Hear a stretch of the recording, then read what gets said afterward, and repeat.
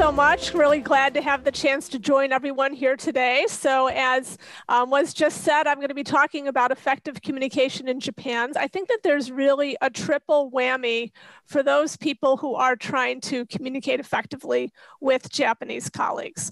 And so, one aspect of that is that Japanese communication tends to be, in general, less direct than that in many other countries. Also, um, Japanese communication tends to rely less on words. And then we have the thing that people tend to think of most when they think of these challenges, and that is the um, language barrier, which seems very obvious, but when you put the language barrier together with the cultural challenges, that's where you get a lot of um, a lot of um, difficulties there. I call it the triple whammy because you know there's three parts, but they tend to reinforce each other and make things really difficult. But I think it's important to kind of take these apart and look at it one by one. And I'm going to be talking about sort of where these differences come from, but also for people who are interacting with Japanese, what you can do about that to be as effective as possible in your communication.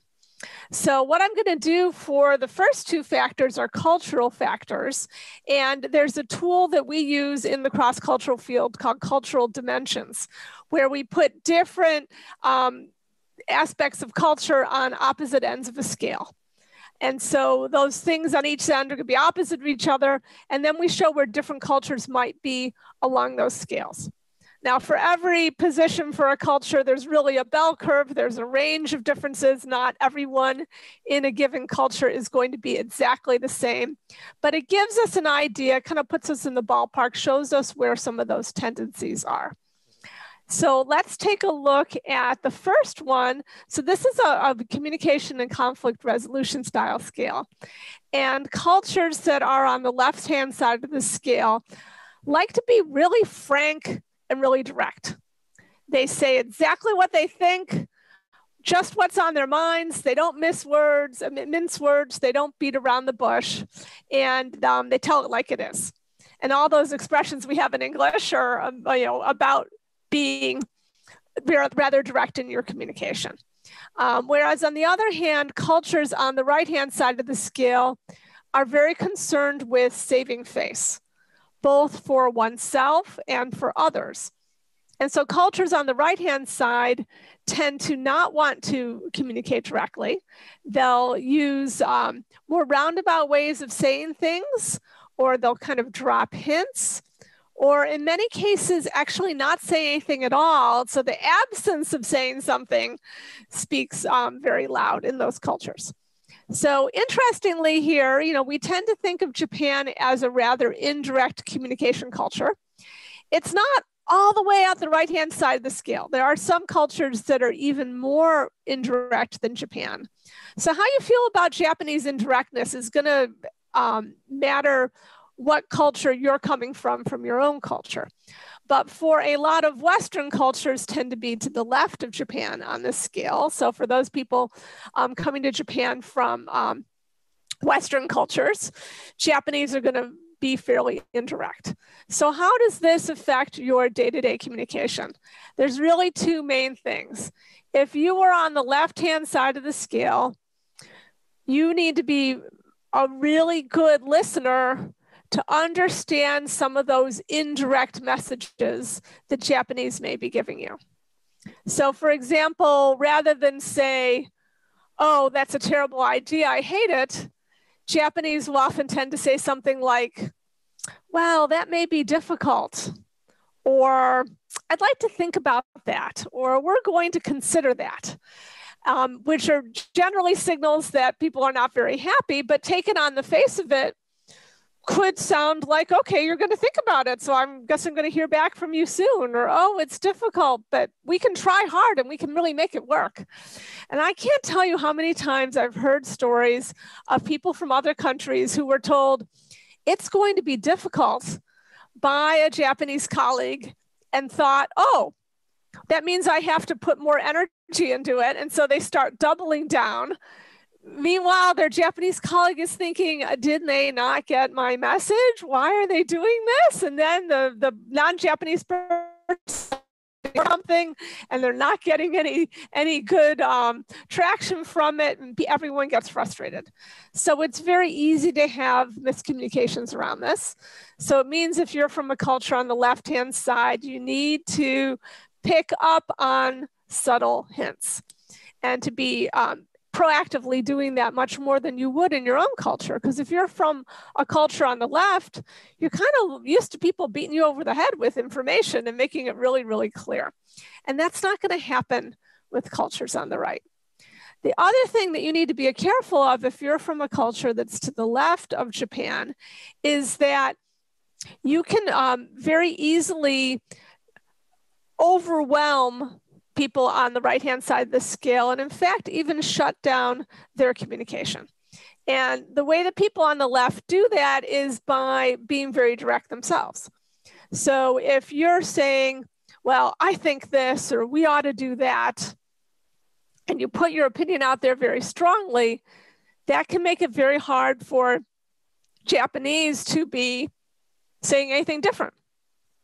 So let's take a um, non-Japanese manager who has a Japanese team and says to the team, well, you know, we need to decide between A and B. I really think we should do A. What do all you think? And for a Japanese team, it's going to be very, very hard to say, oh, well, actually, B is better right? There's a feeling of it's rude to disagree with people, particularly those who are higher than you in the hierarchy.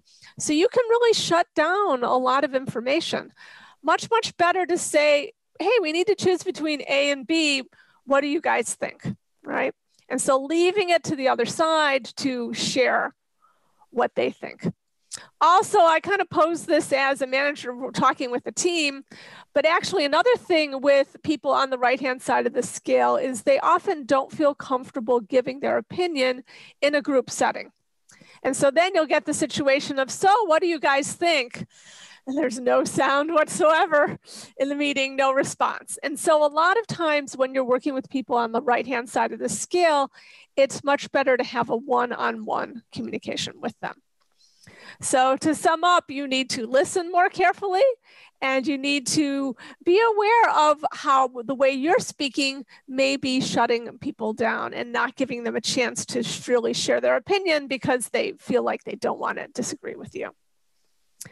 Now, a second factor that interacts with this is that in Japanese culture, people are, are much less reliant on words for their communication. And on this scale, we actually see Japan is all the way on the right hand side. And this ability or preference for communicating without words is part of what gives us some of the things that we like best about Japanese culture. And so those would include, for example, emoji or manga, or if you're in the um, industrial field, kanban um, because that's a way of visually showing things and communicating a lot without a lot of words. Um, if we go back further in history, haiku would be a good example. Uh, Japan also created the um, sort of um, pictographs that are used for signage, like your, your person leaving an exit sign, things like that. Those were created for the 1964 Olympics. And so how can we communicate using pictures? Um, that was another example. So there's a lot of these examples where Japan's preference or ability to communicate in visual or nonverbal ways has really contributed to our global culture. On the other hand, when it comes to business conversations, the fact that Japanese don't always put things in words can be very challenging for people from other countries. And the farther that your country is on the left on this scale, the more that that is going to be a challenge for you. Right. So in the Japanese culture, it there's a traditional phrase, hear one, understand 10. The idea is, is that if someone gives you 10% of the information, if you are a good listener, you can piece that together and figure out yourself what the other nine are. For people on the far left of this scale, we're used to getting all 10 all spelled out handed to us on a silver platter. And in some cases, if you're talking with, for example, with an attorney, they might give you 11 or 12 or 15 or something like that. Um, you know, so the idea of putting things specifically in words is a big part of business culture um, in, in cultures, particularly on the left-hand side of the scale. And on cultures on the left-hand side of the scale, people are trained to do that.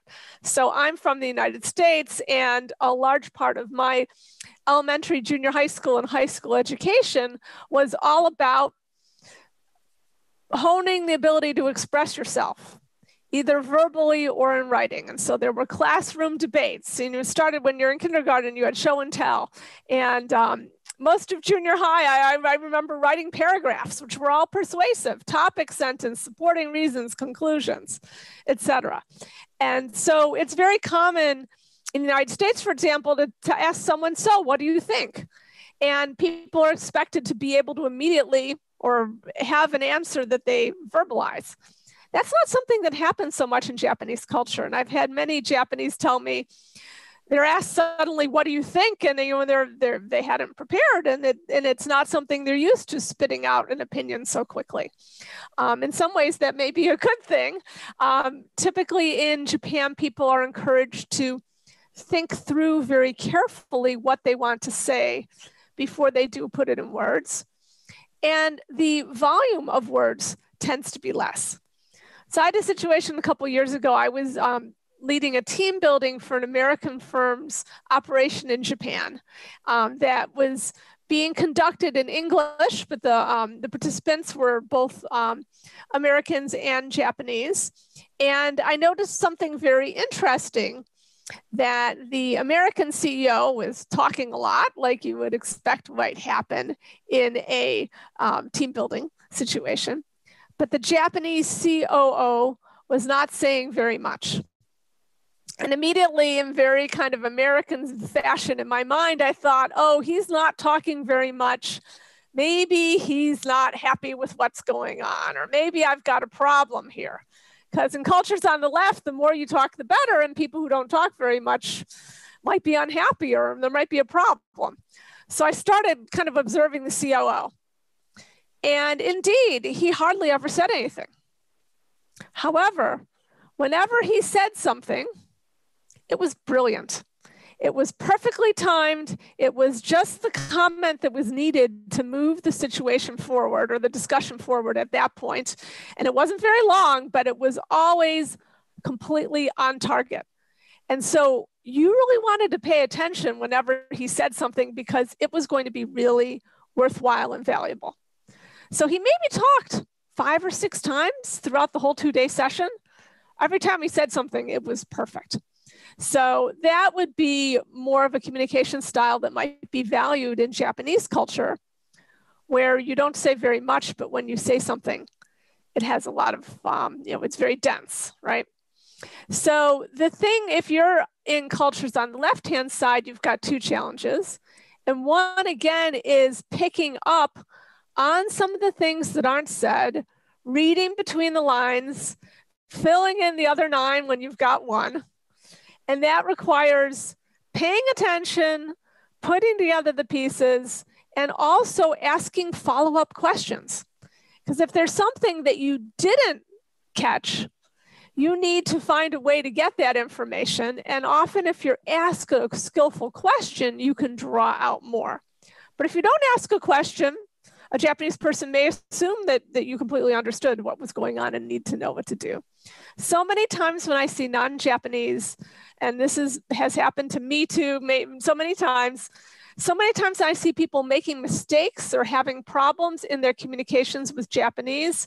It's because they took something that was a vague statement or instruction and they didn't ask for clarification or more information and then just made an assumption about what it meant and made the wrong assumption. It's very easy to do if someone only gives you 10% to think, oh, okay, I figured it out. But if you don't confirm that, you actually could be completely on the wrong track. I know I've done that way too many times. So asking those clarifying questions, it's very important. The other thing that's very important if you're on the left-hand side of the scale is basically shut up once in a while. Um, people on the left hand side of the scale love to talk. We love to hear ourselves speak, and we're used to spewing out lots of words because, as I said, that's what our education system tends to prepare us for. That is completely overwhelming to people on the right hand side of the scale. And if you talk less and listen more, you're going to get a lot more information because that will make um, Japanese feel like they have more room to speak. Um, and also, if you talk too much, it becomes too much for people to process because if they're not using to, used to getting that many words, right?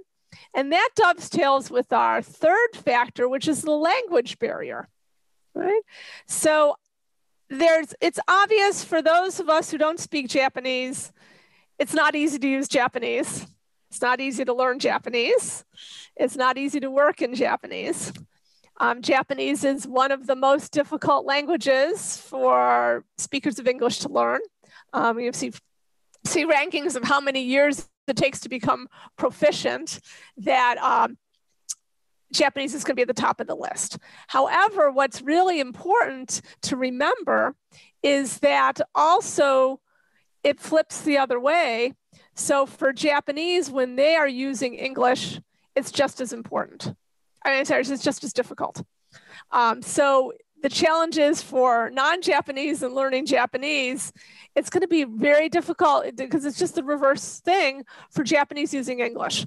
And so if you are a verbal person and you're talking too much, you are just going to be overwhelming someone who um, doesn't have a lot of confidence in their listening comprehension and not giving them enough time to formulate what they want to say. So it's very important um, if you are a native speaker of English or a proficient speaker of English working with Japanese, is to be modulating your English use. That means slowing down, using less complicated grammar, using less slang and jargon, enunciating clearly, and then stopping and giving people time to process and time to respond. So being aware of your own language use and adjusting it is very, very important. And then realizing that for Japanese, that even someone who you're speaking with them and their English sounds great, it may not be that easy for them to be catching everything that you're saying. And so I think it's easy for us to um, kind of get into this mode where we just kind of go back to speaking at, at, at, native speaker speed and, and we lose people. So I think you know, being aware is important. So those are some things to think about. I'm going to finish up here and um, just whenever you can be aware of all these factors um, and make, make some adjustments, it's gonna be helpful for you. Thanks.